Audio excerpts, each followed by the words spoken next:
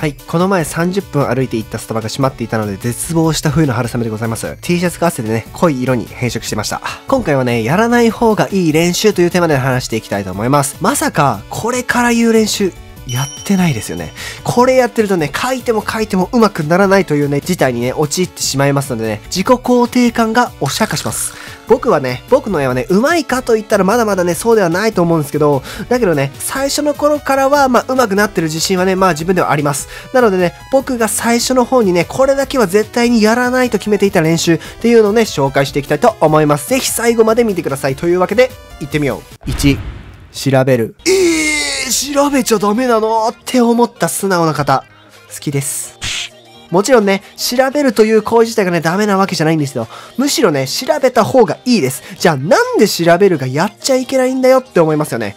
これ、調べるタイミングで上手くなるのかならないのかが分かれてくるんですよね。じゃあ、どのタイミングで調べるのがダメなのか気になりますよね。それはですね、書く前に調べることです。って思いますよね。普通書く前に調べるでしょって。普通だったらね、そう思うと思います。書く前に調べるって、例えて言うなら、自転車のタイヤはパンパンなのに空気入れるみたいな感じですね。ただの気候です。もちろんね、ちゃんと理由があります。理由はね、二つですね。一つ目は、時間の無駄ですね。すいません、ちょっと言い方強かったですね。最初に調べるのって時間の無駄なんですよね。こういう人いませんか？調べて満足する人。調べるのに夢中になってしまって書く時間がなくなる人。調べて集中力がなくなる人。調べてもうまく書けなくて途中で投げ出す人。こういう人ね、いると思うんですよね。これはね、その人のやる気がどうとかじゃなくて人間そういうもんだと思うんですよね。人間の集中力って30分しかないってよく言いますし、30分調べ物してたらもうね、絵描く集中力ね、残ってないですよね。スマホで調べてたら、まあ、Twitter とかね、インスタとか TikTok、YouTube とかの通知でコンテンツ消費したりとかね、誘惑もあるわけです。少しね、上げるだけでね、こんなにたくさん出てくるわけですよ。前に調べちゃいけない理由がね。先に調べた時に生じるかもしれない絵を描けない可能性がたくさんあるんですよね。だって好きな YouTuber の通知とか来たらそっち見たくなるじゃないですか。おそらくね、今までね、もね、そういうことあったはずなんですよね。学校のテスト勉強とかで。だからね、時間を無駄にしてしまう可能性が高いからやめた方がいいよっていうことですね。まあ、時間の無駄っていうのはね、これ、ね、言われたらね、気づくと思うんですよ。大したことない、まあ理由だなっていうふうには思うと思うんですけど、大事なのは二つ目の理由ですね。二つ目の調べてから書くのがダメな理由なんですけど、これはわかんないです。あ、そうじゃなくて、あの、わからないからっていうのが二つ目の理由ですね。まず、練習するということは少なくともそのものが書けないわけじゃないですか。では、なぜ自分はそれが書けないのかっていうのを考えてみると答えは簡単です。自分が書いたものが正しいと思っているからですよね。だって、これなら大丈夫だと思って絵を進めるわけですから、線を一つ引くにしても、これなら大丈夫だと思ったから、次の線を引くわけです。だから自分の絵は正しいと思ってるんですよね。だから、それが描けないっていう状態になっちゃってるっていうのが今の現状だと思うんですよね。では、書く前に調べたらどうなるかって言ったら、今書いたものが正しいってなってしまうんですよね。これが間違いなんですよね。上手くなるために練習するわけじゃないですか。正しいと思ったらそこで終わりですよね。どんなものでもそうです。スポーツだろうが、絵だろうが、音楽だろうが、上達するためには否定するという工程が絶対に必要なんです。絵は描いてる時に上達するわけじゃありません。今まで描いたものを否定して、新たな可能性を見つけた時に上達するんですよ。つまり、必ず上達する時は、絵を描いた後に起こることなんですよ。だったらそこに合わせて調べた方がいいと思いません？上達はね、書く前に起こらないんですよ。だから書く前に調べちゃダメなんです。書く前じゃ何がダメなのかわからないじゃないですか。つまり、書けないものがわからない状態になってしまう。だから二つ目の理由がわからないからだったんですけど、まあだからその、そういう理由になってるんですよね。ただ、勘違いしてほしくないのは、資料を見ないっていうことではないんですよね。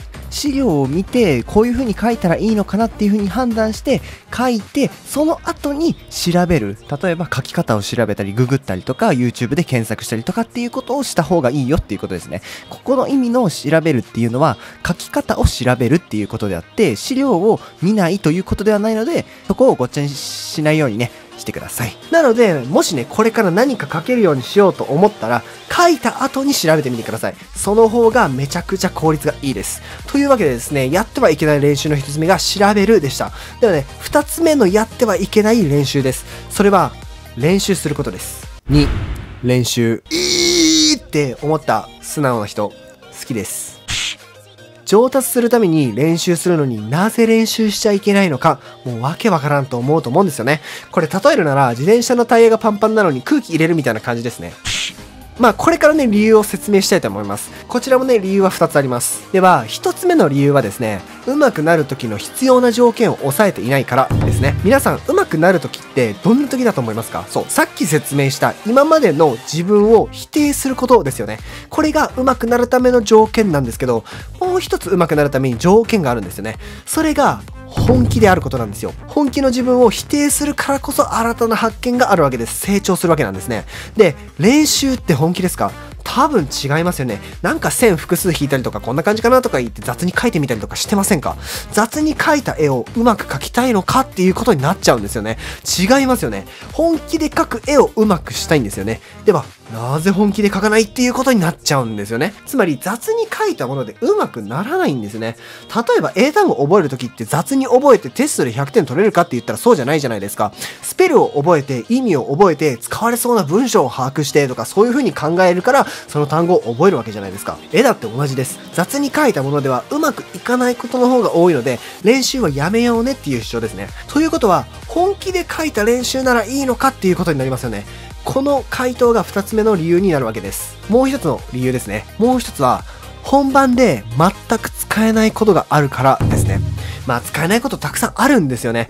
例えばですね、手の練習をしたとするじゃないですか。いろんな形の手をね、練習したとします。これでね、手は完璧だっていうくらい練習します。じゃあ、この状態でキャラを描いて、手がうまく描けるかって言ったらそうじゃないんですよね。こういう時大体手の大きさがはちゃめちゃになってます。手がね、小さかったりとか大きかったりとか、あ、これはね、実際に僕がやっちゃった失敗なんで、これ経験済みなんですけど、もう本当にやらなきゃよかった。